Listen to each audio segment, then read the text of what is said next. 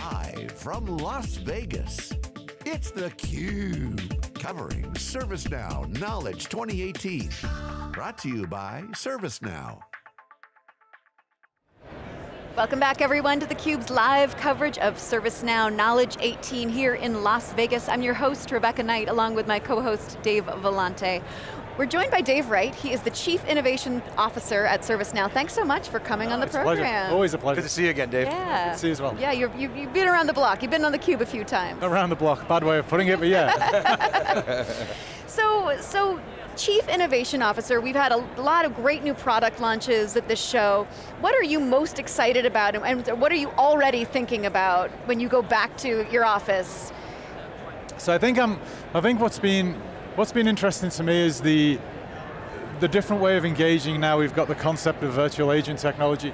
And I, I, don't just mean the fact we've got a virtual agent, the fact that it starts to give people alternatives and it gives people alternative ways to come into the system, whether it be through our interface or whether it be through someone else's interface. I start to wonder what will happen going forward as we get more and more bot type technologies out there. How will you how will you have that one interface that works with all those to get the information back up the chain? How will you how will you almost have a, a single interface that allows you to connect to all these bots and solve your problems? Because the, the benefits kind of twofold. One is the, the bot technology you get from being a customer to coming in and actually doing a request. But the other is you'll eventually be able to take that same technology and apply it to the fulfiller user, so the power user. Because if I'm doing something and I can have an agent that's helping me do it, almost like, a, like the agent assist concept you saw this morning, if I could take that to a next level and have AI running on top of that, then, then I can make I can make work easier for the people coming in, but I can actually improve the people that are in the system and make them more effective. So, go ahead. Yeah. Uh, go ahead, follow up, please. I know. I was just going to ask about about how you get your ideas. So, so you're, you're here, you're, you're interacting with customers, you're seeing how they're using your product. So, so is, it, is it interviewing customers to find out their pain points? Is it, is it really just watching? I mean, you're the chief innovation officer. How do you so it's spark a, your own creativity? So it's a really weird answer. I, I get most of it off kids and most of it off my kids. So I can, I can tell you a story. Um, we were in we were in Barnes and Noble the other week, and they had a they had albums in there, like classic 12-inch albums. back. and they cost more than they used to. Yeah, right. So I called the kids over. I said, "Look, let's let's get educated. This is what I used to use to play music on."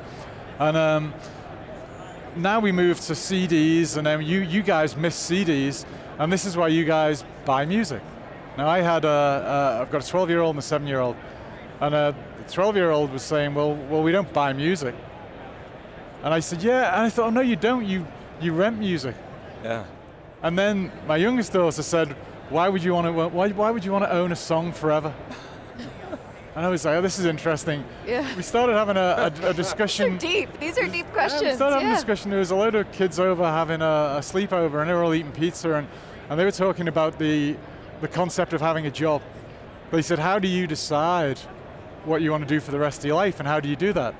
And, and, we were talking about how you do something, you get better, you go to another company, you get better at doing it, you go to another company.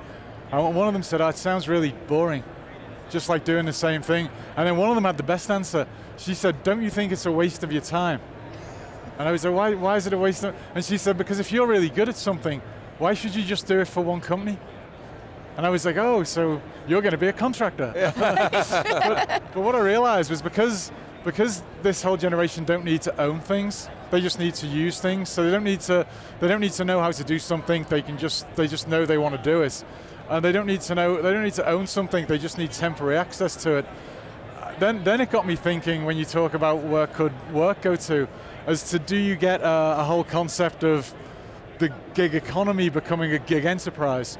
Because we have a lot of people in work who've got all these different skills, but we force them to do one job, and and it might be that it might be that someone's doing a job, but they've got skills that would be applicable outside of that job, but they never get to use them. So, so have we seen the first generation arrive now, where they expect everything to be task-based? And then it gives you control over your own career.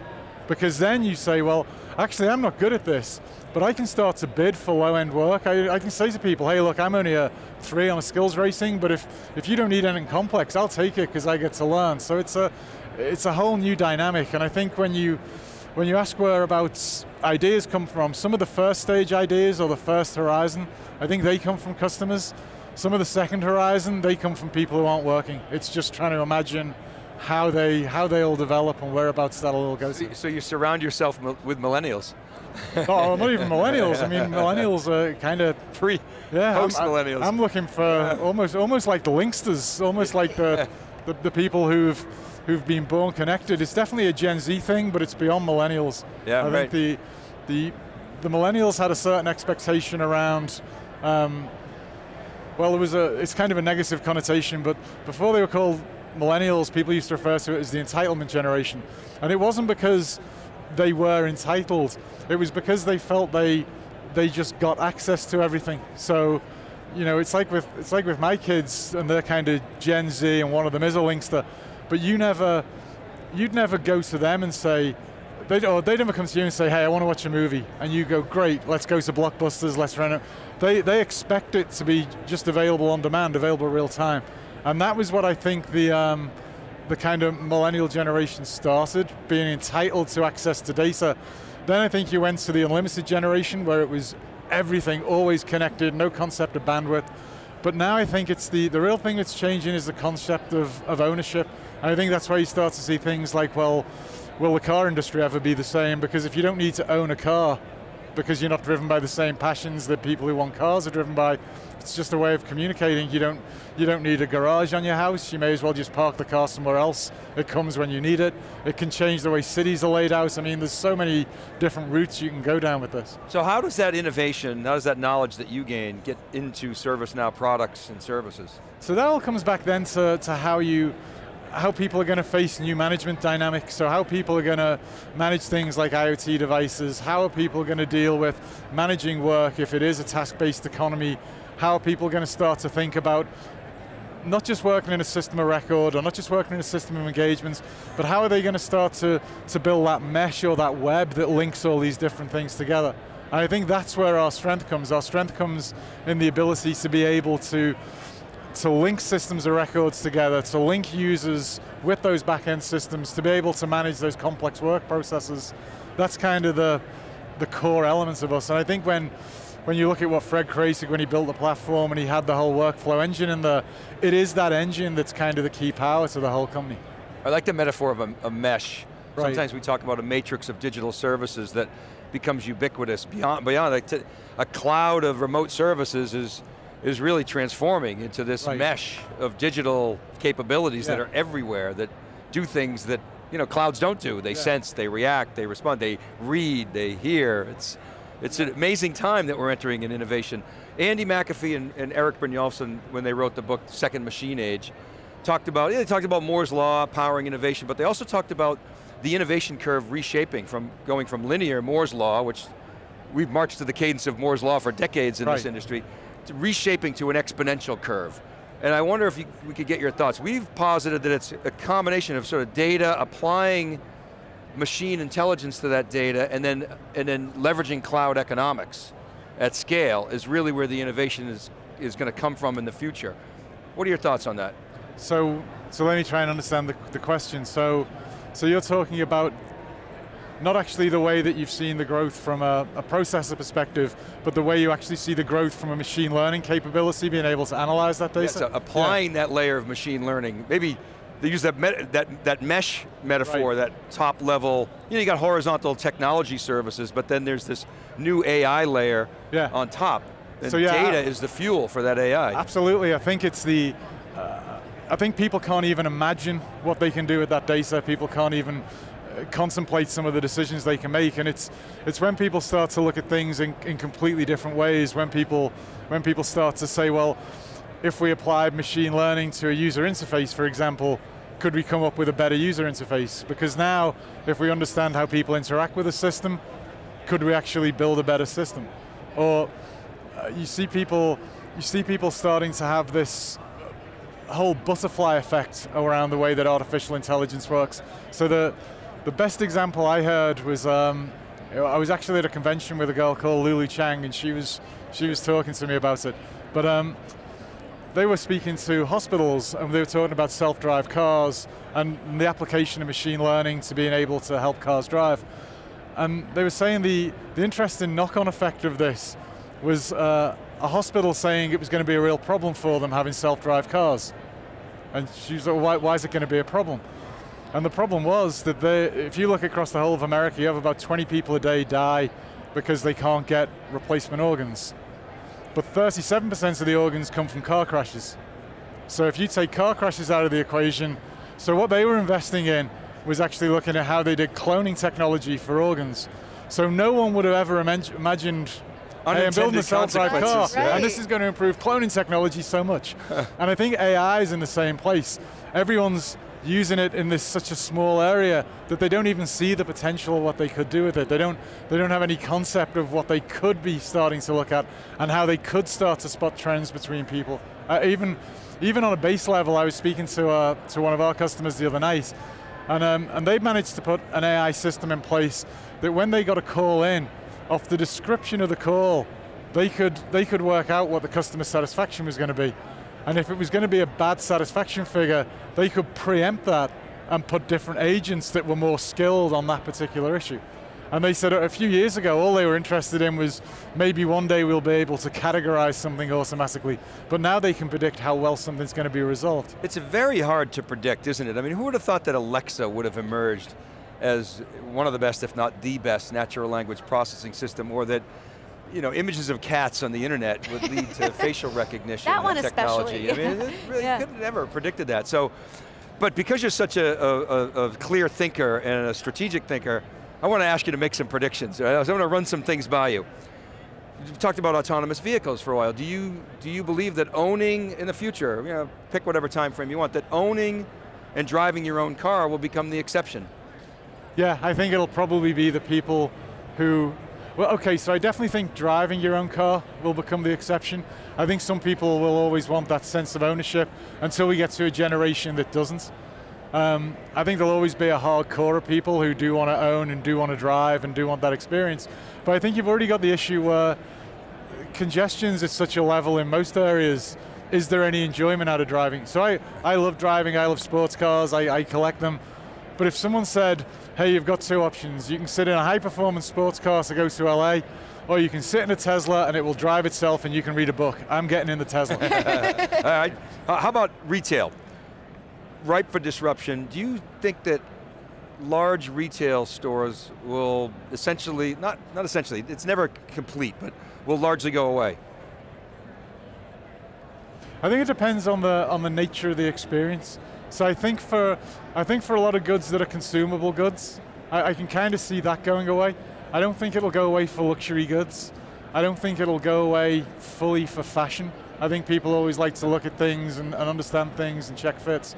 But for, for some things that are high consumables, maybe even for electronics, yep. I can see those going, or I can see it going for, for things where it's one product, so something like a, a, a shop that just sells sneakers. I, I could see someone could easily offer a range and say, well look, here's what we sell. When you order something, we'll automatically ship you one size up, one size down, or two variations of color, and it'll be a free system to return the ones you don't want. I think I think the, the whole the whole experience of ordering one thing and hoping it works out, I think that'll go away. It'll be a concept of ordering a group of things, or maybe it'll be applying artificial intelligence to say, hey, you've asked for this color, but we know that people who also ask for that color like this color as well. We're going to ship you them both. You see how it goes and send us the one back you I don't like, like. it. Okay, um, let's see. Will machines make better diagnoses than doctors? I've, I've got to say, I think you will get to a point where that'll happen.